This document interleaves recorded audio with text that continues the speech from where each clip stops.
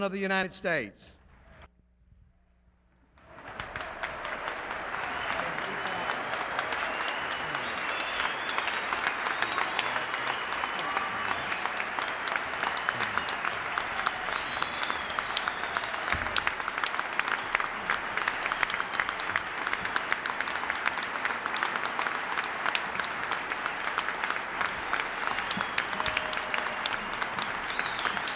Thank you.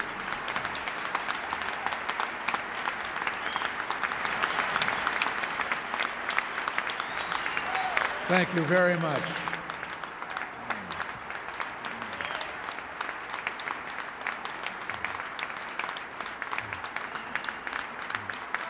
Thank you.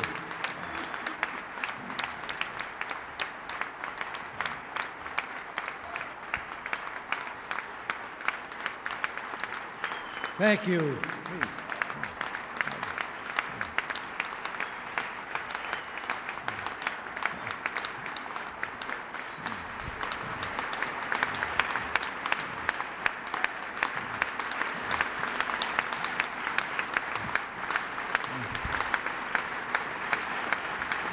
Thank you. Thank you, Joe Canzeri, Vice President Barbara Bush, members of the House and Senate, Chairman Boone Pickens. What happened? There. I thought it was sabotage for a minute. Chairman Boone Pickens, honored guests, and fellow Republicans. Nancy and I are pleased to be with you on this memorable and beautiful occasion. An expensive one, too. But we, we can be gratified that if it wasn't for all of us, what we're paying tonight might well be the normal price for dinner.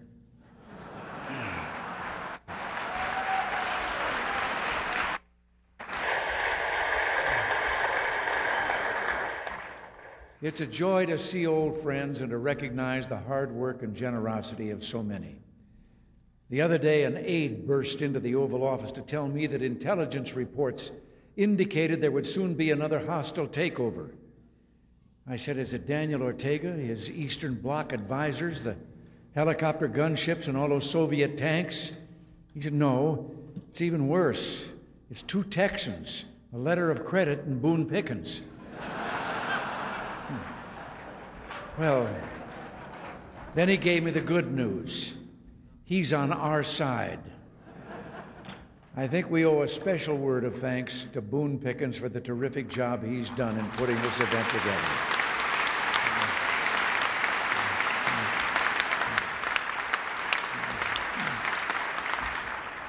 And I also want to thank each and every one of you for your tremendous generosity and support of our party and what we're doing for America.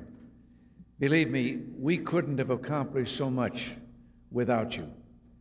Also with us tonight are a number of candidates seeking our party's nomination for president. I'd ask them to stand, but I know you'd all be watching to see Howard Baker's response.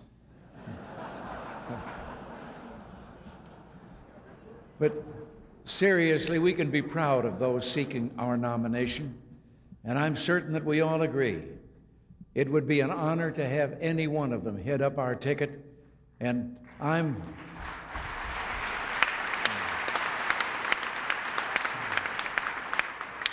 And I'm going to do everything I can to help our nominee become the next President of the United States.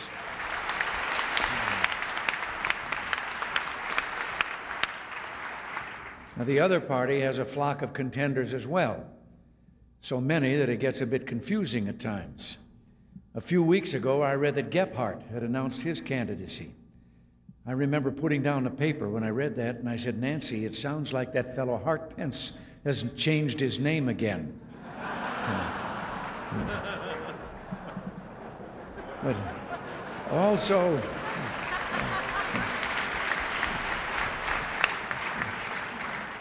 Also, a word of congratulations to Senator Rudy Boschwitz, new chairman of the National Republican Senatorial Committee.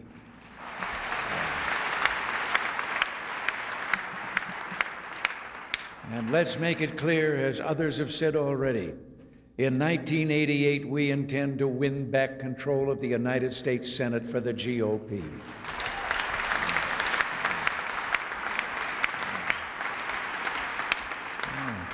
It's not that we don't like Senator Byrd's fiddling, mind you. It's just that we'd like him to do it with his violin. Yeah.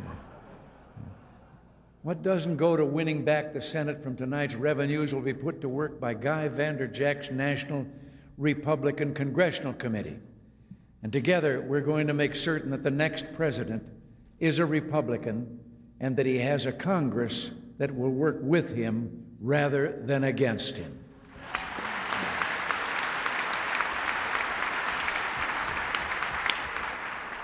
Do you know how long it's been? The last time that a Republican president had a Republican Congress was in Dwight Eisenhower's term. And for 46 of the last 56 years, it hasn't been that way. Well, I'll come to that later. One thing becoming clearer every day is that the number of Republicans in Congress makes an enormous difference. As of next year, the other party, as I've said, will have had a majority in both houses of the Congress for 46 of the last 56 years, and one house for an additional six years. And we have had a majority in both houses for only four of those 56 years, and two of those were with a Democratic president, and two, as I said, with President Eisenhower. Let's make a commitment tonight to get the word out and get the vote out. Many in the other party don't understand they're vulnerable, but the American people do understand that. For six years, they've been telling themselves that their political slippage is a fluke of history. Well, sometimes I'm taken a bit aback to be given personal credit for throwing the predetermined course of history off track. Well, there's going to be a rude awakening out there when our opponents realize that our success has more to do with substance than style. Winston.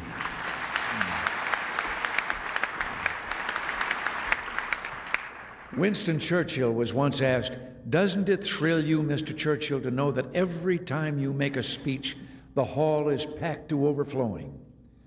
It's quite flattering, Winston replied, but Whenever I feel this way, I always remember that if instead of making a political speech, I was being hanged, the crowd would be twice as big.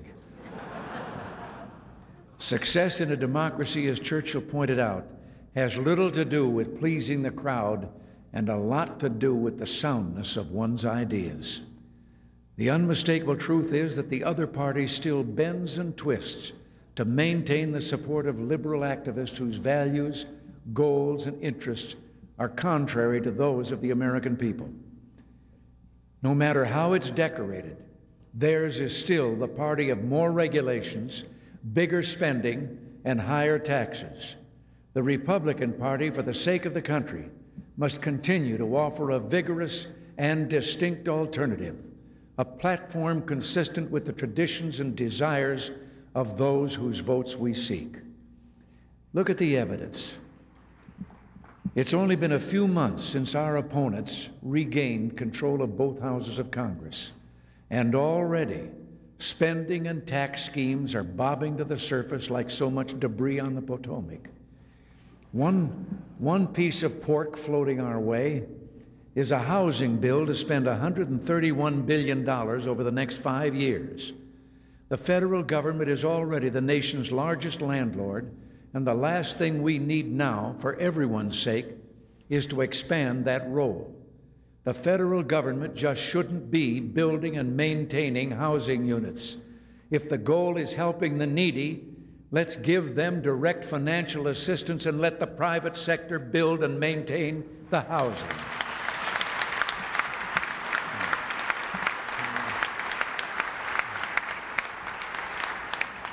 Now, this approach, of course, differs dramatically from that of those who would expand government at any cost in order to try to solve every problem. One need only remember the cumulative effect of that way of governing.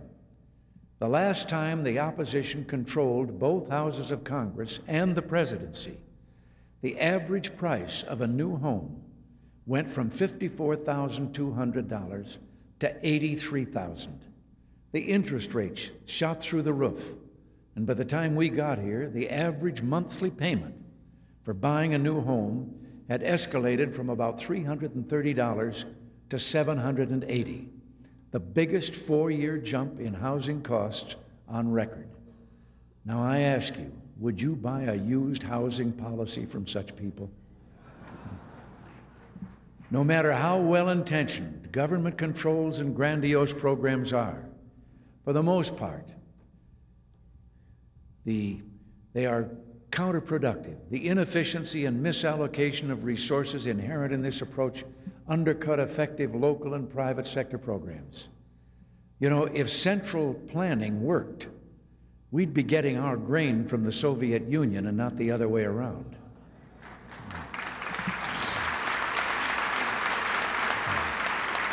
We, we hear reports from that country, for example.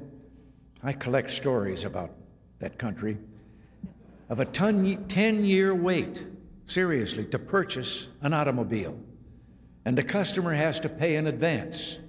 And there's this story about a worker who saves and saves, fills out all the paperwork, stands in all the lines, obtains all the necessary approvals, and finally, at the last window, the last stamp is affixed to the documents. He lays his cash down, and the bureaucrat counts out the money and tells him to come back in 10 years for his car. The little man turns, stops. He, turns and stops, and he says, uh, looks back and said, Well, morning or afternoon? well, the fellow says, It's 10 years from now. What's the difference does it make? He says, Well, the plumber's coming in the morning.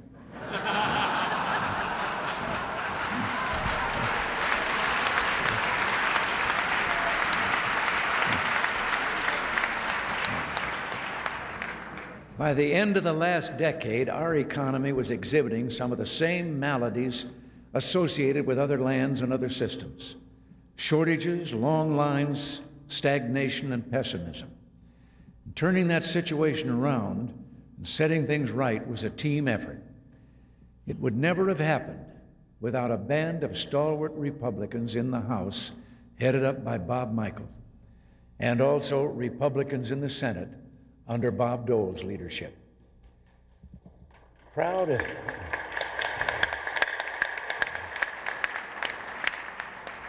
proud of our accomplishments, we Republicans have made the mistake in believing the public will naturally reward us at the polls.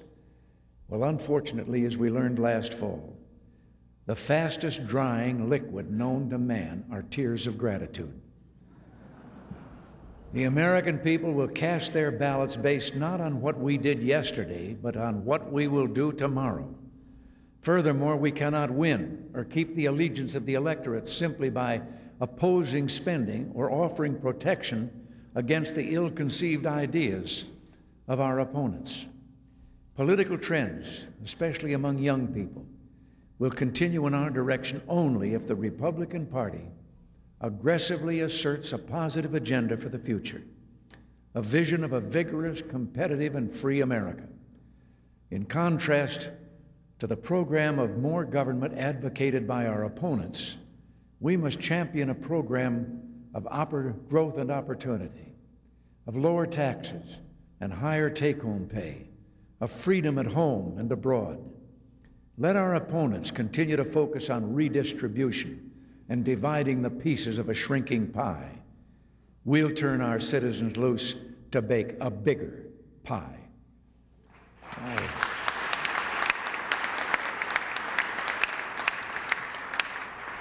By sticking to our principles, we've created an environment that encourages enterprise, investment, and innovation. As a result, we've had 53 months of sustained growth Inflation has gone from double digits to the lowest rate in 25 years, and over 13 million jobs have been created. The American miracle, as our allies have called it. In the last two years, over half a million new businesses have been started. Yes, some fail, but they're free to try again. Our economy has been in a constant state of self improvement from top to bottom America is now well on its way into a new era of technology and enterprise. What this has meant to our citizens. One myth being spread is that old high paying jobs are being replaced by lower paying new jobs. Well, this big lie should be laid to rest. Yes, many entry level, lower paying jobs are being created, but 60% of those 13 million new jobs are in higher paying occupations management, technical skills, professionalism. This is one reason real take home pay for the average American is up. Poverty has declined two years in a row. The average lifespan continues to expand, and our standard of living is on the upswing. None of this, however, can be taken for granted. If Congress is permitted to slip back into old habits, it could well undermine prosperity, undo our reforms, and pull us back into the pit we left behind. First and foremost, we challenge the new congressional leadership to live up to the spending limitations of Gramm Rudman Hollings. If they do not, we'll take our case to the people. The situation already cries out for institutional reform. The primary item on our list is giving the President of the United States the same power now in the hands of 43 governors, something that will help him eliminate the worst abuses of politically motivated spending. I'm talking about a line item veto.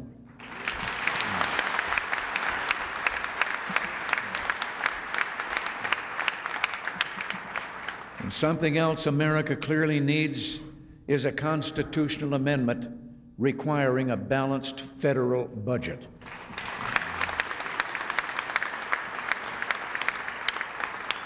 I'd prefer relying on Congress, but if they fail to act, as I wrote to the minority leader of the Montana State Senate, we can still turn to a constitutional convention to get the job done.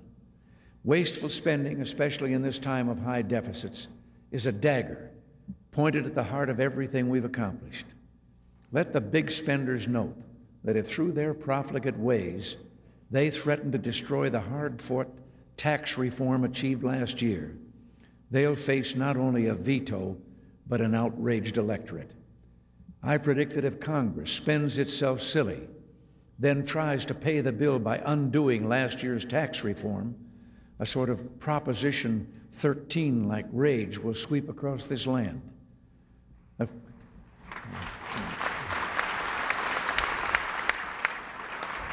Of, course, some of the most hard fought battles that we've had in these last six years dealt with issues of national security. We were told time and again that if we didn't give in to this or that Soviet demand, any hope for arms control would be lost. There was tremendous pressure, for example, to accept a freeze that would have left the Soviet Union in a position to dominate Europe with nuclear armed intermediate range missiles. Well, we held firm. And today we could be on our way to an historic first an actual reduction in the number of nuclear weapons threatening mankind.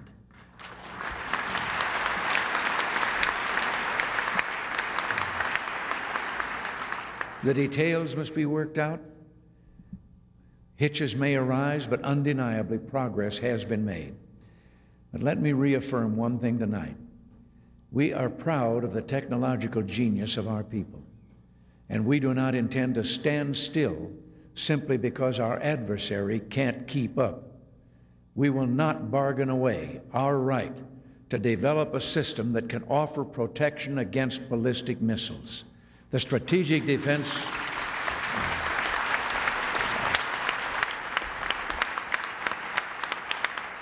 The Strategic Defense Initiative is not on the bargaining table. Preserving the peace is one of America's primary goals in world affairs.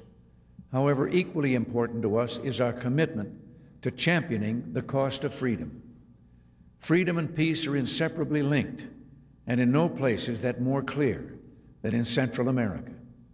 If we permit the cause of freedom to be snuffed out in Nicaragua, if we cower and refuse to support those who fight for democracy, our country will pay dearly for our lack of courage. I.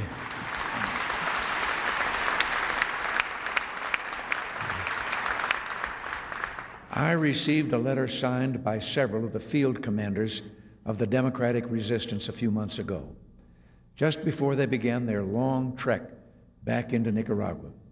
They went knowing they faced an enemy supported by Eastern Bloc and Cuban military advisors, an enemy armed with powerful Soviet weapons. In their letter, these field commanders indicated they understood the political difficulties I was going through and appreciated the faith that I had in them. And they pledged, as individuals were putting their lives on the line, fighting against tremendous odds, that they would not let me down. What they meant is they would not let us down. That same kind of spirit is found among the people in Afghanistan, in Angola, in Poland, and among all those who resist dictatorships. There is a power in the flame of liberty. It can melt the chains of despotism and change the world. It built our country into a mighty engine of progress and opportunity and made us a beacon of hope to all those who would be free.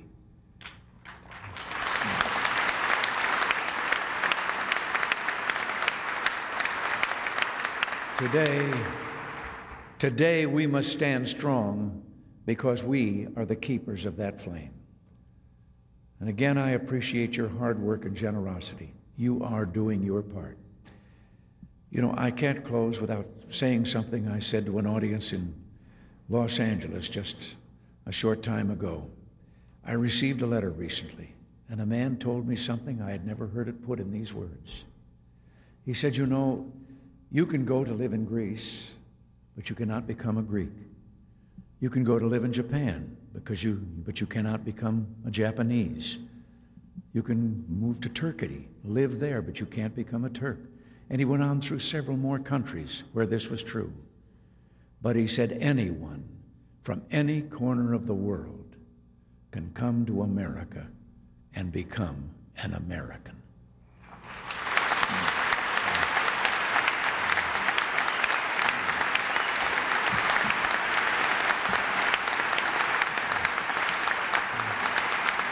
Thank you all. God bless you all. Thank you.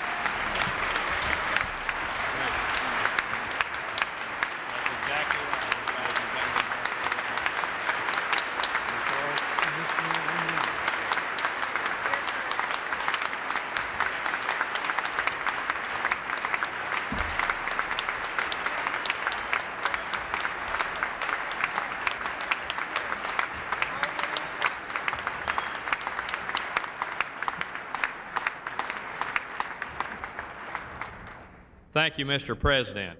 I'd like to now ask all our guests to take their champagne glass and join me in a toast to our President. Mr. President, you've shown us the true meaning of leadership by guiding us to prosperity and giving us a vision of a free and unfettered America in which we all can strive for excellence. Your leadership gives us faith in the future and makes us proud to be Americans. To the President.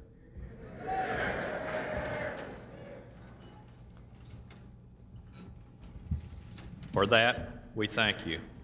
And now, Mr. President, we have quite a presentation for you. A few minutes is all it'll be, but it's quite a presentation, complete with special effects. All of us sit back now and enjoy the show. Thank you.